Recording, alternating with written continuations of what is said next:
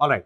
So, uh, you mean you might, uh, I mean, I'm sure all of you have seen this uh, in your uh, classes, you know, basic circuit theory classes a long, uh, long while ago. And, uh, you know, apart from, you know, giving you two marks in an exam, you might be wondering what is the, you know, what is the earthly use of, I mean, it sounds like a cool theorem, but so what, right? Why is this? Why is this useful in practice? Uh, uh, you know, uh, I will show you why it is useful in practice um, with an example. So, let us say I take I do not know some example toy network.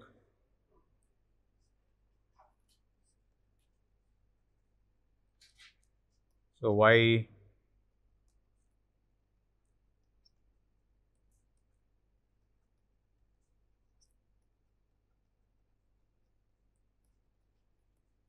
why why is reciprocity useful in practice?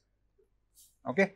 So, let me take some arbitrary network R1, R2, R3, R4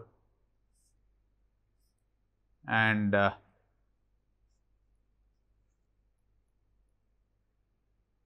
say there was V1 here, uh, there was uh, a current source here called I1 another current source here called I2, a third current source here called I3, a fourth current source called I4,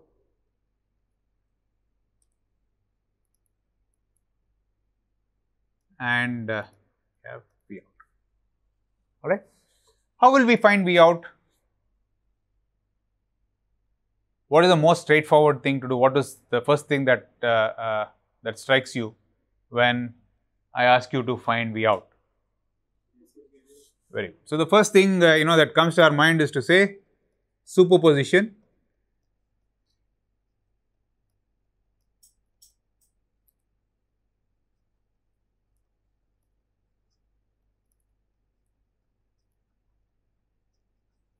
The straightforward approach is to basically say use superposition. So, and what does this entail? You de-energize uh, all sources except one and you find the transfer function from from one source to the output and you do this for all the sources that are there, right. So, how many uh, uh, times are you solving the network? In this particular case, you are solving the network equations.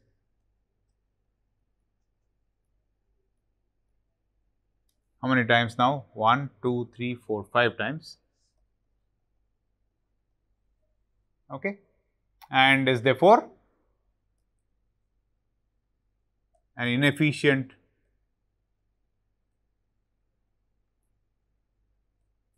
Of doing things And why do I say it's an inefficient way of doing things? Because you're, I mean, uh, think about it. When you solve a network, I mean, you know, when you say solve the network, what, what would you do? How, how do you plan on go uh, on uh, solving this? Pardon? Yeah, I mean, you know, what is the mechanics of the process? You write KCL, KVL. I mean, you choose your you know favorite set of uh, you know uh, you know uh, you know if you like mesh analysis, you do mesh analysis. If you do like node analysis, you do node analysis. But finally, you will end up doing the same thing over and over again five times with only a small change. Correct? Okay. Uh, uh, the smart way of doing things is to use is to use reciprocity, and the idea is the following. Well, we know that the transfer function from V1 to V out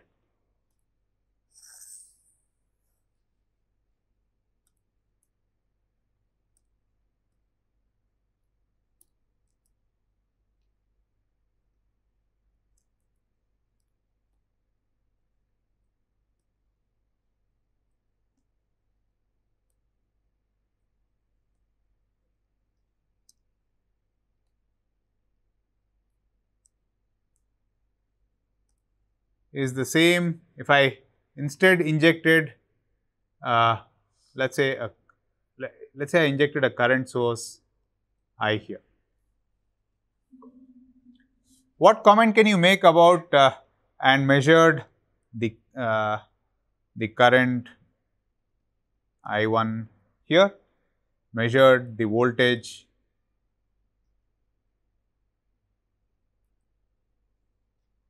V1 here, uh, the voltage sorry V1 must be in this orientation, V2 here, V3, V4. Okay. So, if you use reciprocity, what uh, you know, uh, what do you think you can do? What conclusion can you draw regarding the transfer function from uh,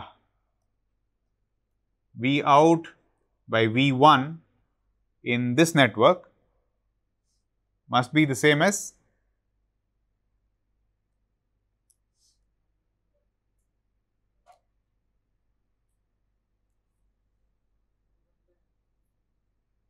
Yes, people? V1 by V out or V out by V1 in the network above is the same as I1 by I in the network below. Okay. Likewise, V out by I1 in the network above is the same as V out by I1 is the same as V1 by I and so on. So, why is this a much smarter way of doing things?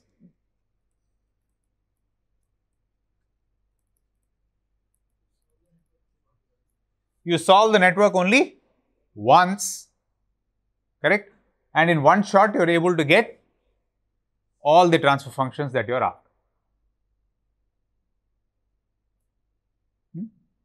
And therefore, uh, the uh, so this uh, reciprocity therefore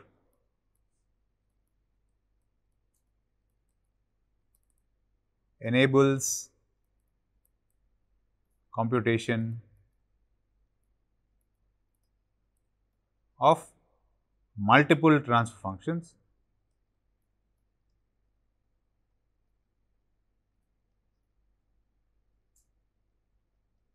in one shot.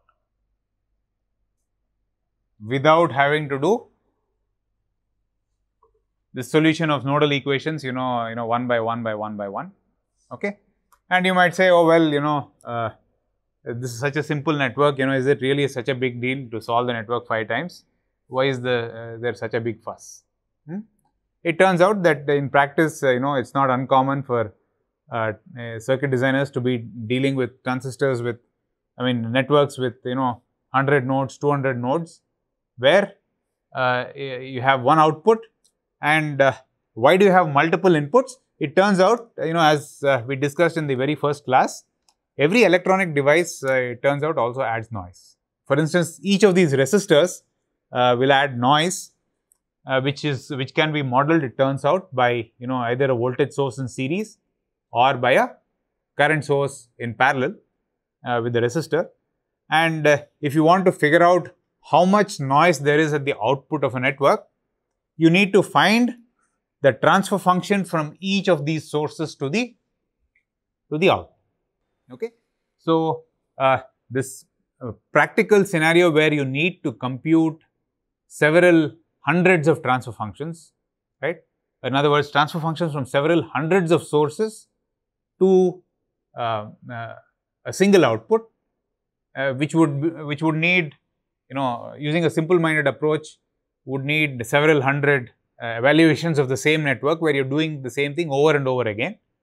If you use reciprocity, it is simply just evaluating the network once and with this just one evaluation you are now in a position to tell uh, tell me what the transfer functions are from any source in the network to the out. Is this clear? Right. So, uh, that is uh, uh, you know the one of the uh, nice things about reciprocity. Now, you might argue and uh, however, there is one limitation and what is that limitation? Pardon? What is the only, I mean, what is the limitation of, uh, uh, I mean, this obviously sounds like a great idea, right? Except, well, except that, uh, you know, uh, it does not hold in networks that we are most interested in, namely, well, I mean, you know, passive networks are great, but, you know, most of the time we are dealing with, with uh, active networks uh, and active networks have control sources, correct? So, oh, this is all great, but ah, you know, it doesn't work for the real network that uh, I'm interested, right? You understand? So it's like finding, uh, you know, uh, uh, someone gave you like, uh, you know, a terabyte uh, SSD drive, okay, to fix on your phone, except, you know, you find out that the slot is of a different size, okay, and doesn't fit. Huh?